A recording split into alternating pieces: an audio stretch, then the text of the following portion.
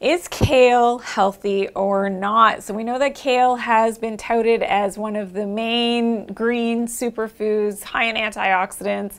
And, you know, we really have to ask the question. There are some sort of hidden facts about kale that you may not have heard about in terms of toxicity levels that can be a little bit concerning. So towards the end of the video, I'll sort of give my either thumbs up or thumbs down on my opinion on kale. But we do know that kale does have a lot of cancer prevention properties. It contains naturally glucosinolates, and these are known to definitely protect our cellular function.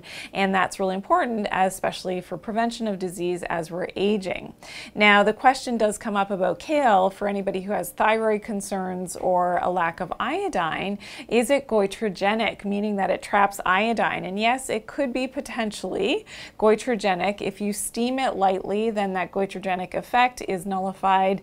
And the controversy here is that not all endocrinologists or experts that deal with thyroid function agree that eating kale, and you would have to eat large, large amounts of kale or some of the other goitrogenic foods to actually have that goitrogenic effect at trapping that iodine. And we know, of course, that iodine is very important for our thyroid function. So that's still questionable and up in the air. Now, one of the things that you probably haven't heard about kale in terms of the toxicity issues is that it may be high in thallium. So thallium is a heavy metal that commonly will be part and parcel of eating kale, especially if it is from the west coast of the USA in California. This was discovered when patients were going and having some heavy metal testing done with their doctors, and they discovered that they were very high in these heavy metals, especially the thallium. And they ate a lot of kale.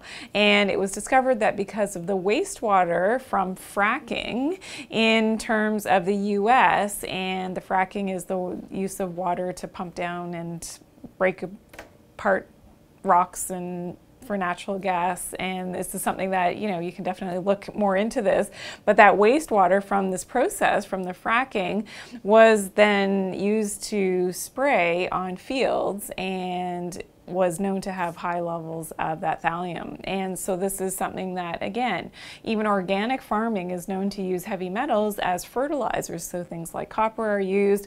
So where we often say that going organic is definitely better, maybe not in the case sometimes of, you know, some of these plants that are known to really trap and chelate these heavy metals within their cellular structure themselves. And this is often the green leafy vegetables will trap those heavy metal toxins. So it's definitely the best way to get your kale is organic. You grow your, yourself, you know exactly what's in the soil and what you're watering that, that plant with definitely is the best way to go or from a farm that you know uses organic, you know, and not heavy metal fertilizers in their farming methods. So that's very important. Now the way that I go in terms of, you know, getting my kale is I take it in a standardized extract that has been freeze dried and it's tested for heavy metals, but also for pesticide residue to make sure that there's none of that in there. So for me, that's the best way to do it. Not, to, uh, you know, I definitely do eat kale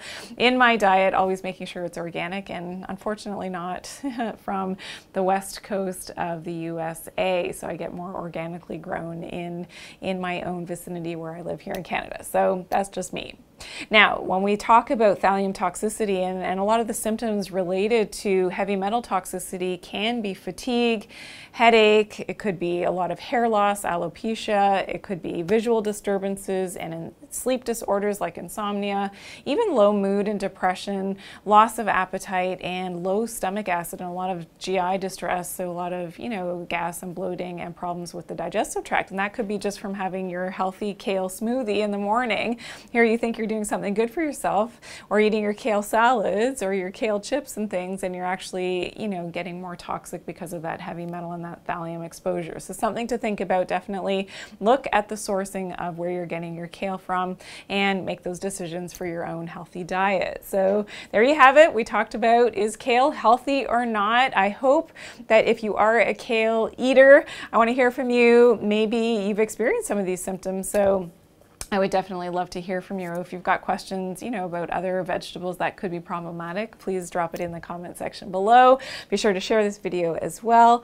And I would love to get that big thumbs up from you as well. And if you're new to my channel, welcome in. I hope that you'll click that subscribe button and also turn on the post notifications by clicking that bell. And remember to always take good care of your health and do it naturally. Thanks for watching.